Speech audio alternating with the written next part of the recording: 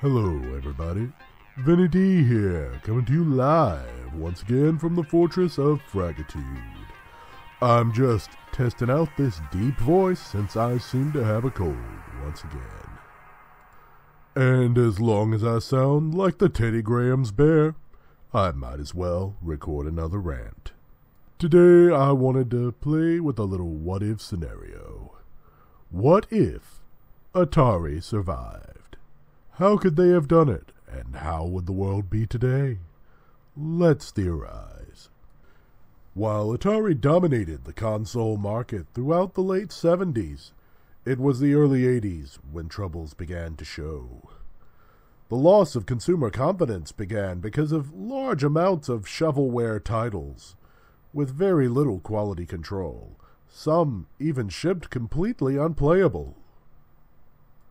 And this ultimately led what we know of as the video game crash of 1983. But could the crash be averted? Yes, I believe it was possible. In this alternate reality, where Atari succeeds and continues to dominate the home console and video game market, Atari sees the shovelware problem arising and enacts greater quality control over their products and what they allow to be released by third party companies, much as Nintendo would do in the mid 80s after the release of the NES. With the 2600 aging, Atari does not develop the 5200, a massive flop in our reality, so best not to even bother with it. Instead, as they see competition beginning to arise from Nintendo's NES in the East and Sega's Master System in both Japan and Europe, they put together a truly next gen system. In other words, the Atari 7800. The Atari 7800 in our time released to huge success initially during a test launch in California. However, the company would change hands to former founder of Commodore, Jack Tramiel. And little did Tramiel know that Atari did not bother paying the developers of the 7800 before selling off the company to Tramiel, leaving the 7800 unable to make a proper global launch for two years while the NES and the Master System made headway. In the successful Atari timeline, Tramiel looks a little more closely at the books before making the buy, goes to the table and demands developers be paid before having the company handed off to him. He's a smart man. He's not going to buy a company already swimming in debts. The 7800 makes a release, beating the NES to market by a year in the US. With the reputation and name of Atari behind them, the 7800 competes neck and neck with the NES and completely crushes the Master System in every market. In our time, Jack Tramiel, on his very first day as the new owner of Atari Corporation, fired most of the original talent. This would be damaging to the company. Keeping on board a larger and stronger pool of talent Tramiel makes headway in the console market. In this timeline, the Atari ST is still released, but without so much legal trouble from Jack Tramiel's former company, Commodore. This means that Atari's foray into home computers continues. The Atari ST launches on time, bringing us the first multimedia PC years ahead of its time. At the same time, Commodore releases the Amiga. As the two companies don't bother battling it out with one another in the legal realm, they instead compete on the sales floor. This is ultimately good for both companies. So far, Atari's doing well. They're beginning to revolutionize home computing while staying strong in the console market. But the 32 bit wars are ahead.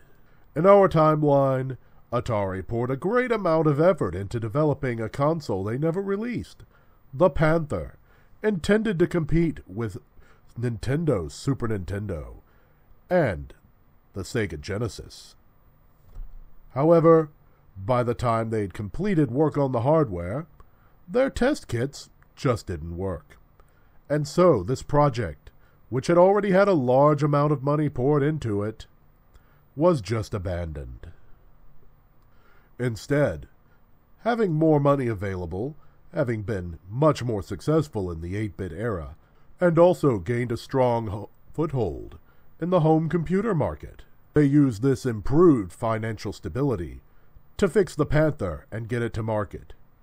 Will it succeed in competing with the Super Nintendo and Genesis? No. It unlikely could not dethrone these two giants by now. However, the Panther could avoid a large money loss by returning on the investment Atari had already put into it. Meanwhile, Atari is also pouring work into their true next gen console, the machine to compete with the upcoming N64 and the Sony PlayStation, the Atari Jaguar. The amazing thing about the Jaguar is just how good it could have been with only a small amount of work put into it. With a separate 32 bit GPU and 64 bit CPU, the Atari Jaguar was difficult to develop for, but could be rewarding for those who could use it. However, there was one critical design flaw. The controller chip used to control these two chips, nicknamed Tom and Jerry by the creators, were controlled by a 16 bit CPU, intended to merely be a chip controller. However, it just happens to also be the exact same CPU used to power the Sega Genesis. Lazy programmers, rather than learn to master the Tom and Jerry CPU and GPU combination, instead write lazy Genesis ports directly to the chip controller. In this alternate timeline, this chip is locked down and this may be hard on developers, but ultimately it will force them to do the harder work of taking full advantage of the system's power. The machine is also tweaked with additional cache and RAM. This helps fix the slowdown and flicker problems that plague many games. And lastly, and most importantly to its success, the Atari Jaguar forgoes the cartridge format and releases, at its original date, in 1992, powered exclusively by the CD format. Had the CD add on been the original default media format for the Jaguar, we could have seen much greater success. So, how is this accomplished? By not splitting the Jaguar's development between CD, VR, yes, Atari did co- intend to make a virtual reality addition to the Atari Jaguar. It never panned out. So instead, Atari never even begins to develop the VR headset, and instead pours that extra effort into getting the CD ready at launch, built directly into the machine. Now Atari has on its hands a next gen system capable of truly competing not only crushing the 16 bit competition, but holding out against the PlayStation and N64 throughout the late 90s.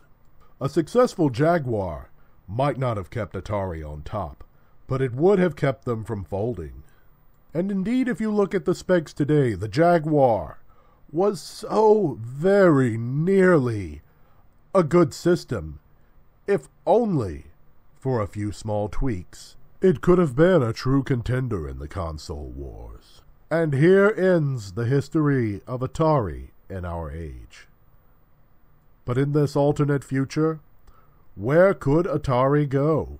Even if successful, the Atari ST line couldn't have changed the history of computing so significantly that it would dethrone the IBM compatibles with the coming of Windows 95 or later the rise of the Macs. But in our alternate timeline, Atari has developed a history of seeing the future coming and releasing early. When they smell the Dreamcast on the horizon, they aim to compete. work begins on the next generation of Atari.